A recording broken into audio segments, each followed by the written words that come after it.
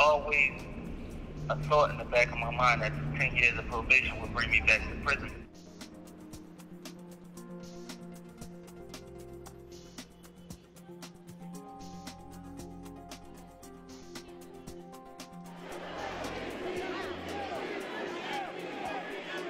I say, don't show me no pity because this is this is my life. This is what I've been going through, and I think God put me in this position to be able to do a show with Lester Holt and, and open up eyes for other young black men.